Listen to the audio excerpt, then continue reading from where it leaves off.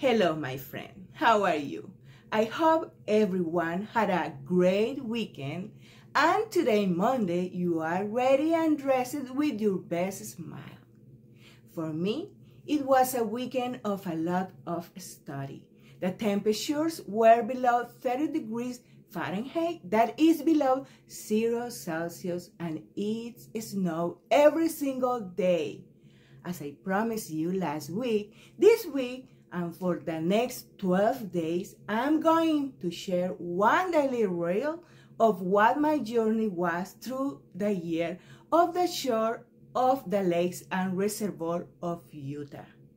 As many know, this is a photography project that was born in April 2022 and with more than 700 lake and reservoir to visit. The task is not easy, but with each day, the project grows and has more body. Our main goal is to document the four seasons of the year of each lake and reservoir. However, by 2024, we are going to move faster, knowing and exploring as much we can. In January of this year, we visit Bear River Bear Migratory Refuge, Echo Reservoir, Jensen Pond, Great Salt Lake, Lost Creek Reservoir, and Mayor Pond.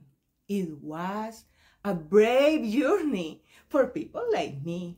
A great challenge because when you come from the tropics and are exposed to low temperature, you expose yourself to several difficulties.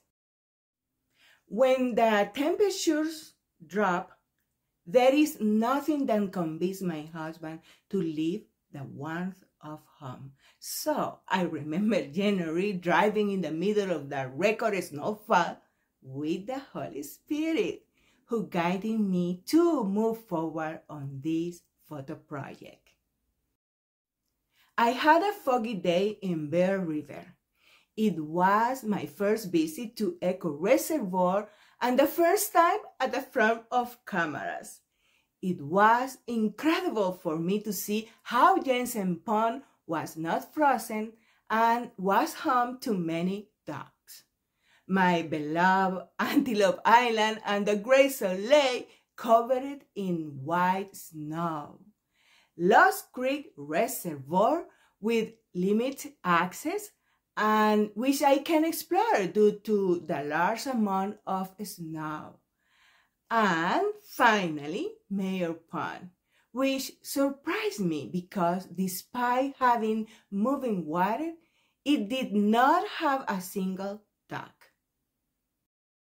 Well, I hope you liked today's reel, January 2023, through my lens, which I will share with you shortly. I hope you enjoy getting to know my surrounding in the color that God paints them. Don't forget to like it because that always motivates me to continue sharing here.